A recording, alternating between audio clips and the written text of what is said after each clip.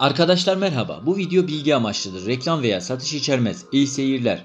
Rantudilfort nedir yan etkileri nelerdir ve ne için kullanılır? Rantudilfort etkin madde olarak asemetazin içerir. Asemetazin iltihap giderici, ağrı kesici ve ateş düşürücü etkilere sahip steroid olmayan antiinflamatuar bir ilaç grubuna dahildir. Rantudilfort şu durumların tedavisinde kullanılır. Dejeneratif eklem hastalığı, eklem kireçlenmesinde yani osteoartritte, eklem iltihabı ile görülen romatizmal hastalık olan romatoid artritte, özellikle omurga eklemlerinde birleşme ve hareket kaybı ile görülen romatizmal hastalık olan ankilozon spondilite, proteinin parçalanmasında bir soruna bağlı olarak zaman zaman ani şekilde ortaya çıkan, sıklıkla ayak baş parmağındaki iltihapla kendini gösteren, eklemler üzerinde ileri derecede ağrıya, hassasiyete, kızarıklığa ve şişkinliğe neden olan eklem iltihabı olan akut gut artritine, akut kas iskelet sistemi ağrılarına, ameliyat sonrası görülebilen inflamasyon, şişkinlik ve yumuşak doku hasarına, kadınlarda adet sancılarına bağlı ağrılarda.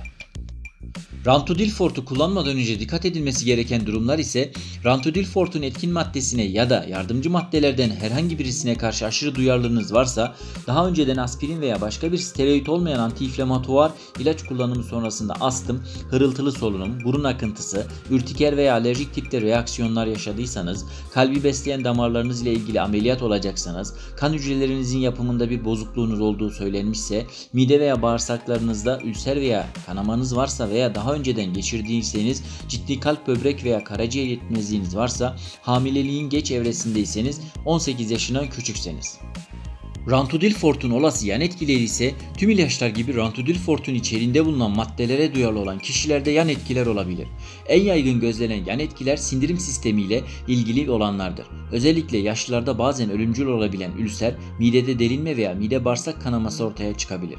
Mide bulantısı, kusma, ishal, midede gaz toplanması, kabızlık, sindirim bozukluğu, karın bölgesinde ağrı, dışkıda kan, kusmukta kan bulunması, ağızda yüzeysel lezyonlar, kolit ve kron hastalığının alevlenmesi uygulamayı takiben bildirilmiştir. Daha sıklıkla midede iltihabı durumu gözlenmiştir. Çok yaygın yan etkileri mide bulantısı, kusma, abdominal ağrı, ishal, mide bağırsak kanalından gizli kan kaybı.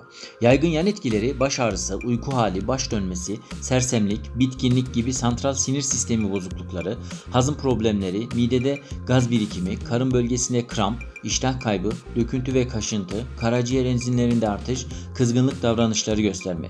Yaygın olmayan yan etkiler özellikle hipertansiyon veya böbrek fonksiyon bozukluğu olanlarda ödem gelişimi, mide içeriği, dışkıda ve ishalde kan görülmesi, saç kaybı, ürtiker, karaciğer hasarı. Seyrek yan etkileri psikolojik rahatsızlık, sinirlilik, artmış kan basıncı, ödem, kalp yetmezliği, kan potasyum düzeylerinde artış.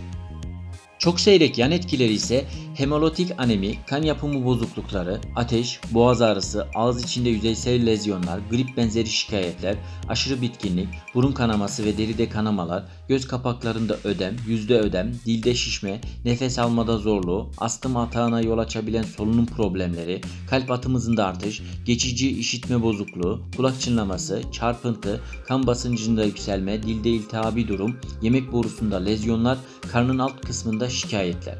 Rantidülfort nasıl kullanılır? Rantidülfort ile tedavide doktorunuzun rahatsızlığınızın doğasına ve ciddiyetine göre almanız gereken dozu ve sıklığını size söyleyecektir. Hastalığınızın ciddiyetine ve niteliğine bağlı olarak günde 1 ila 3 defa bir kapsül Rantidülfort alınır. Eğer günde 3 kapsülden fazla almanız gerekiyorsa 7 günden fazla kullanmayınız. Romatizmal rahatsızlıklarda Rantudilfort'u daha uzun süre kullanmanız gerekebilir. Akut gut kriziniz varsa şikayetleriniz kayboluncaya kadar günde 3 kapsül Rantudilfort alınır. Eğer mide ve bağırsaklarınızda herhangi bir şikayetiniz yok ise tedavinizin başlangıcında bir şikayet yok ise doktorunuz geçici olarak bu dozu günde 5 kapsüle kadar artırabilir. Bu durumda başlangıçta ilk dozu 2 kapsül alınır ve daha sonra 6 saat arayla bir kapsül alınır. Şikayetleriniz kaybolunca doktorunuz bu dozu azaltmanızı söyleyecektir. İstenmeyen etkileri en az indirmek için Rantudilfort'u mümkün olan en düşük dozda ve en kısa süreyle kullanmalısınız.